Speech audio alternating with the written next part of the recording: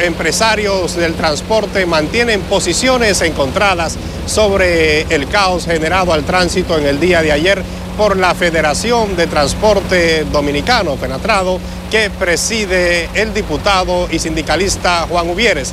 Nuestra compañera Chris Lady Durán trabajó el tema y también desde la avenida 27 de febrero nos tiene el reporte. Escuchemos. Muchísimas gracias Medrano y muy buenas tardes para ti también. Y por ejemplo, Antonio Marte de la Confederación Nacional de Transporte condena este tipo de acción y afirma que en un caso similar habría agotado todos los recursos posibles de diálogo. Sin embargo, entiende que los conflictos se crean porque los choferes pierden la paciencia sobre problemáticas que se discuten con las autoridades. Condena ese tipo de actuaciones como lo, lo hacen eh, ese grupo de choferes. En Conatra eso no se ve. Ahora bien, yo quiero decir por este también medio que AME es tan responsable como los choferes.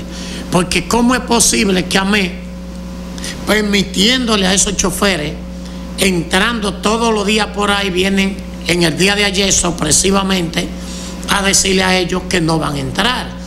Antonio Marte consideró que la Autoridad Metropolitana del Transporte debió hacer una comunicación por escrito y hacerla llegar a todos los conductores para evitar esta situación.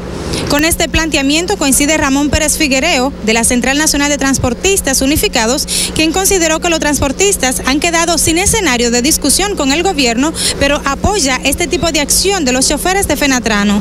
Tenemos un vacío de autoridad en este momento, con no hay donde plantear en qué escenario los choferes puedan plantear su inquietud. Por eso tuve que se derimen en la calle en protesta.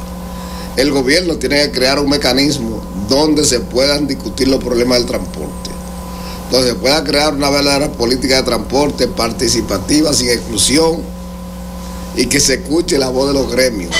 Y en lo que sí también coinciden ambos dirigentes de centrales sindicales es en exhortar a Fenatrano a usar otro tipo de recursos en los que no se vean afectados los usuarios. Esta es la información, yo retorno contigo.